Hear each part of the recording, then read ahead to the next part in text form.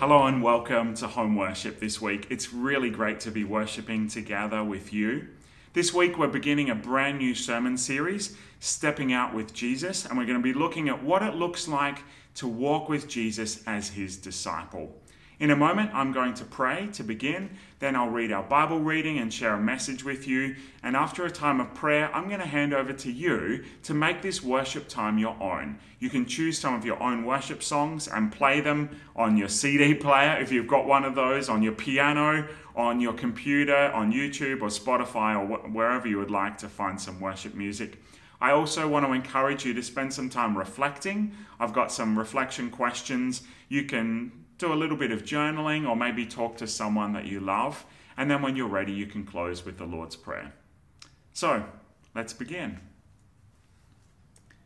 Dear Lord Jesus, I know that when you come to find me, I was not perfect. I was not holy or pure, and I didn't have all the knowledge of a biblical scholar. But you came to call me into your family because you love me. I am so happy that you have called me to come and live with you. You are my hope. You are my Lord and my Saviour. Amen. Our Bible reading for this week is from Luke chapter 5, beginning at verse 1. One day, as Jesus was standing by the lake of Gennesaret, that's the Sea of Galilee, the people were crowding around him and listening to the word of God. He saw at the water's edge two boats left there by fishermen who were washing their nets. He got into one of the boats, the one belonging to Simon, and asked him to put out a little from the shore. Then he sat down and taught the people from the boat. When he had finished speaking, he said to Simon, Put out into deep water and let down the nets for a catch. Simon answered, Master, we've worked hard all night and haven't caught anything, but because you say so, I will let down the nets. When they had done so, they caught such a large number of fish that their nets began to break. So they signaled their partners in the other boat to come and help them, and they came and filled both boats so full that they began to sink. When Simon Peter saw this, he fell at Jesus' knees and said, Go away from me, Lord. I am a sinful man. For he and all his companions were astonished at the catch of fish that they had taken. And so were James and John, the sons of Zebedee, Simon's partners. Then Jesus said to Simon, Don't be afraid. From now on, you will fish for people. So they pulled their boats up on shore, left everything, and followed him. What are you here for? Why are you sitting here listening to me? Why do you pray? Why do you have a Bible on your shelf at home? Well, let me tell you why. It's because you're a disciple. We're not just church members. We're not just people that like to get together and sing songs. We are not just people who read the Bible. We're not just people who believe in Jesus. We're not just people who subscribe to the Lutheran confessions. We're not just people who love to try to live good lives. We are disciples who live with Jesus and he lives in us. When Jesus comes into your life, he calls you to follow him. Not to follow a set of rules. We don't set, follow a set of rules, we follow Jesus. He doesn't call us to follow some principles that He's laid out for living a good life. We live with Jesus. We are disciples of Jesus. And every day He calls you to live in His love and to learn from Him. That's what being a disciple is. One of my favorite disciples, if we're allowed to have favorite disciples, has got to be Simon Peter. He is so bold and he always just steps out without even thinking, and sometimes he puts his foot in it, doesn't he? But what I also love about Simon is that he just gets up again and he gives it another go. He's so gung ho and he's just, he knows Jesus loves him and he's going to just keep trying. I love that about Peter. You know, when Jesus came into Peter's life, he changed everything. In fact, he even changed his name. Originally, his name was Simon, and Jesus gave him a new name, Peter, which means rock, Petros. When that happened, on that day when Jesus came into his life, Peter was out on the shore mending his fishing nets because he was a fisherman. He was cleaning and mending their nets. They were getting ready to pack them up. You know, they'd been out all night. They'd done the night shift out on the waters and they were disappointed because they hadn't caught anything. All they wanted to do was pack up the nets and get the boats ready so they could go home and have probably some food and have a rest. But Jesus asked Peter if he can use his boat as a speaking platform. See, there was this great crowd following Jesus, and they were pressing in on him. And so Jesus got on the boat and they moved the boat a little way out. And so Jesus was up there and he could easily speak to the people. When he'd finished speaking to the crowds and dismissed them, he turned to Peter and he said, Peter, put out into deep water and let down the nets for a catch. Now, you can imagine what Peter is thinking at this point. He's thinking, We were up all night and we didn't catch anything. He's thinking, Jesus, you are a carpenter. I'm a fisherman. What do you know about fishing? He's thinking, I just cleaned the nets. You know, I just want to go home and have a rest. But Peter doesn't say any of those things. Listen to what he says to Jesus Master, We've worked hard all night and haven't caught anything, but because you say so, I will let down the nets. Because you say so. It's because of who Jesus is that Peter will do it. You know, if some random dude was walking along the sand on the beach and said, Hey, fisherman, why don't you put your nets out again? I dare say Peter's response would have been a little bit different. He might have even used some specific fisherman's type words to speak to that man. But because Jesus asked him, Peter will do it. Because Peter loves Jesus, Peter respects Jesus, and he trusts him. Otherwise, he simply wouldn't be doing this. So they go out, they put down their nets again, and what happens? They are so full of fish that the nets are beginning to break and they call over another boat and they eventually get the, the fish into the boats and the both of the boats are so full that they're beginning to sink. This is incredible. After a whole night of not catching anything, all of a sudden they catch everything. Incredible. And Peter is just so overwhelmed. Take notice of this, brothers and sisters. When we do what Jesus asks us to do, look what happens. Even when he asks us to do something that doesn't make any sense, if we just say to him, Because you say so, Jesus, I will do it. Look what happens.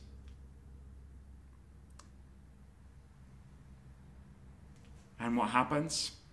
Peter is just so completely overwhelmed. He's witnessed this amazing miracle and he says, Go away from me, Lord. I'm a sinner. He falls down on his knees before Jesus and he just says, Please go away from me. I'm not worthy to be in the boat with you. See, Peter recognizes in this moment that Jesus is the Lord. It's one thing to watch Jesus perform miracles for other people. It's one thing to hear that Jesus has been doing amazing things, you know, healing the sick and turning water into wine and doing all of these amazing things. But when Jesus performs a miracle for you, it's different. And this was a miracle that was just for Peter and for his friends. This was a, a fisherman's miracle, surely.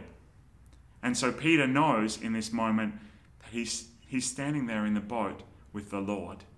And he also knows that he's not worthy to be there. He doesn't deserve to be there. In fact, he shouldn't be there because he's not holy. He's not perfect. He but this is what makes Peter the perfect disciple.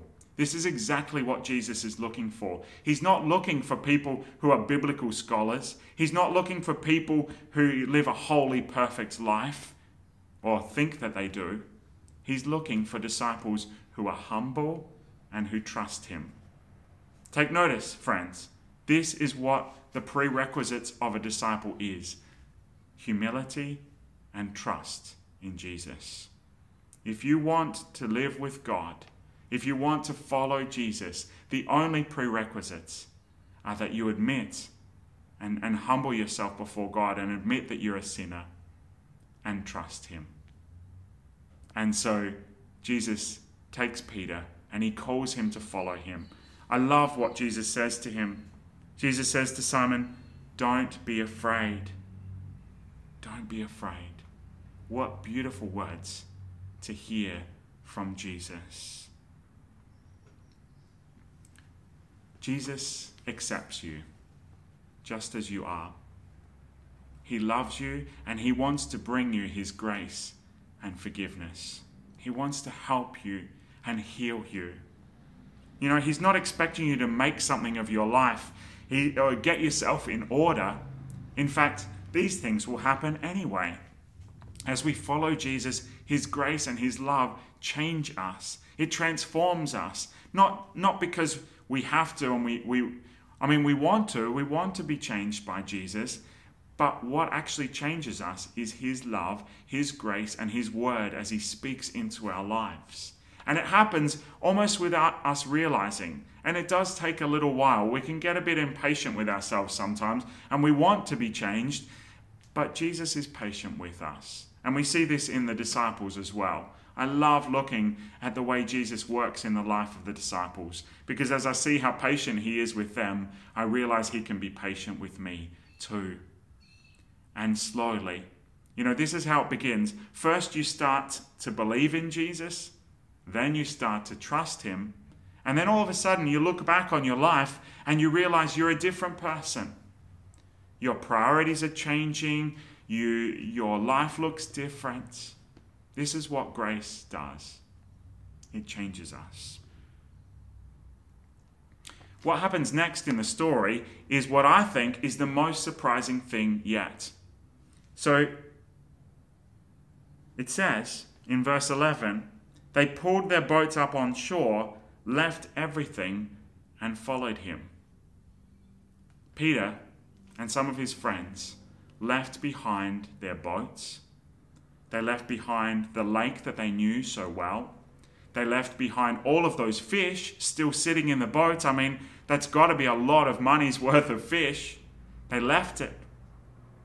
The perfect catch, the best catch they'd probably ever had in their life, and they left it. They left their families behind. They left everything that was their safety and security, everything that they were comfortable with, and they went with Jesus into the unknown. Do you understand now why I think this is the most surprising thing in the story? Because people don't like to leave their comfort zones. We don't like to leave what's familiar to us and what's safe for us. But when Jesus asks you to go with him, when he says, Come and follow me, we can do it because he says so, because it's him. We can leave, and sometimes he will ask us to leave what is comfortable for us. He will lead us into dangerous places, unknown places, scary places, even, but we can go with Him because we know that we can trust Him.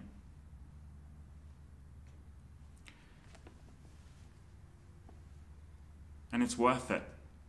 You know, Peter, he thought it was absolutely worth it. And I'm telling you, it is. When we go with Jesus, He has all the answers to every question. He can heal us, He can help us, He can lead us into a freedom like we've never known before. When you walk with Jesus, you'll find yourself discovering wonderful, amazing things that you can't find anywhere else. And on top of it, our Lord Jesus has a love and a grace, a forgiveness that is never ending. So, this is what discipleship means Discipleship is living with Jesus, not rules, no tests, no religious standards. Jesus just says, Come and follow me and live with me. Doesn't mean coming to church and learning about God, it means living with God.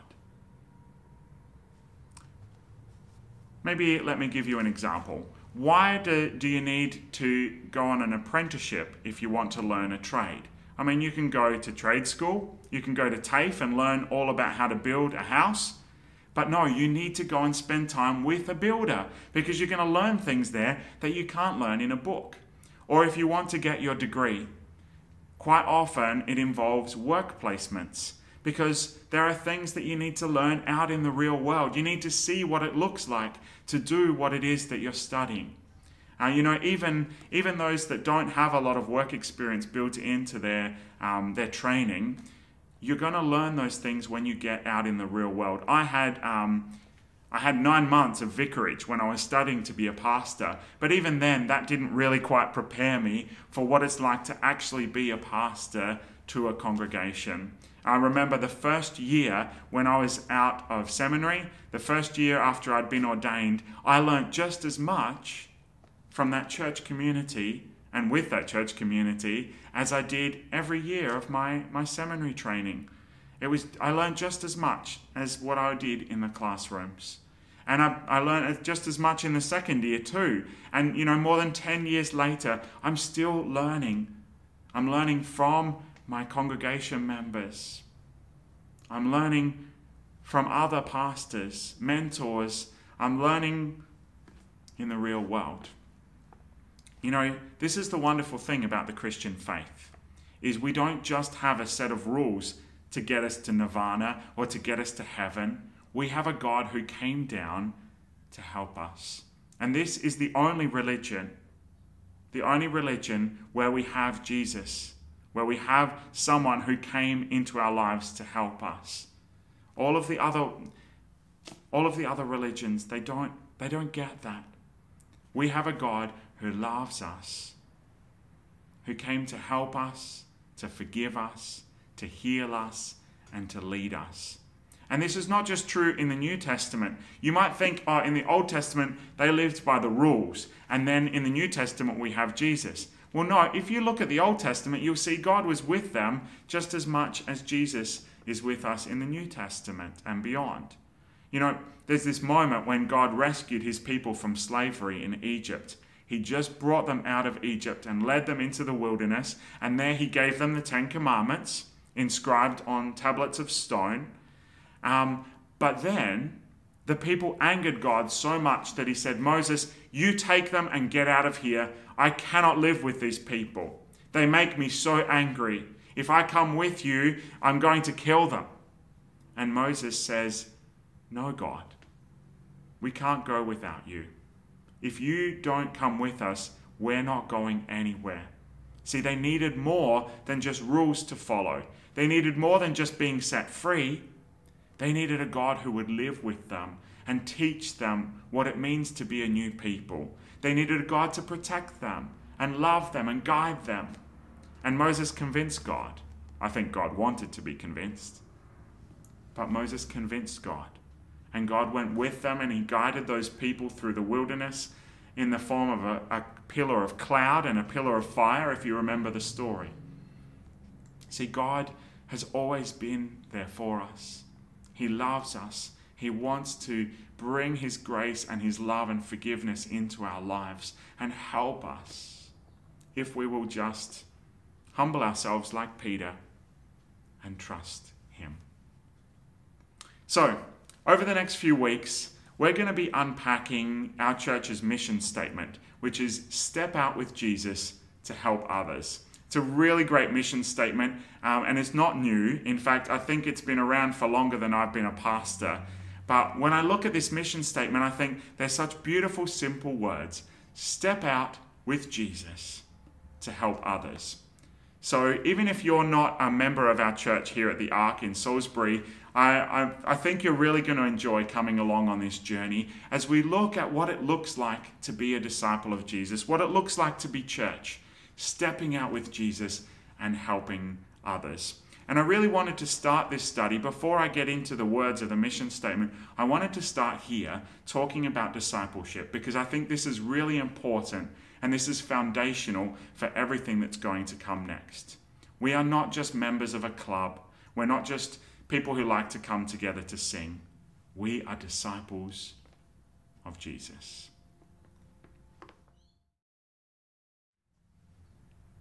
I want to encourage you to continue the discipline of giving your offering to God at this time. Uh, whether you're a member of our church, you can give um, with the details that are up on the screen, or if you're a member of another church, you're very welcome to continue giving to your church. It's good for us to give to God because it reminds us that He is the one who provides for us and that He will continue to provide for us. Um, if you are a member of our church, I, I want to thank you for continuing to support us in our ministry. The money that you give is used so that we can care for you and for others in our community and reach out with the love of Jesus all around this world. Now let's take some time to pray. Dear Heavenly Father, we will praise you all the days of our lives with new songs and old songs you are good and you care for us with unfailing love and faithfulness. Please be with your church all over the world as we begin to consider when and how we can return to large worship gatherings. Bless our pastors, worship leaders, and volunteers. Give us patience, kindness, and flexibility. Above all, Lord, make your presence known because we're here to worship you. In our homes and in our church facilities, you are with us, and that is what is most precious. We pray for our church community here at the Ark in Salisbury as we begin our Old Church Bible study. Help us as we explore what it means to follow Jesus together. Please give us a fresh revelation of Jesus that we may know him and live in his love and grace. We also think of those who don't know Jesus. Those who have never had the chance to hear about him, and those who know of him but don't really know him. Please reach out to them, Jesus. May we be your voice in this world and your loving presence in our community. In Jesus' precious name we pray. Amen.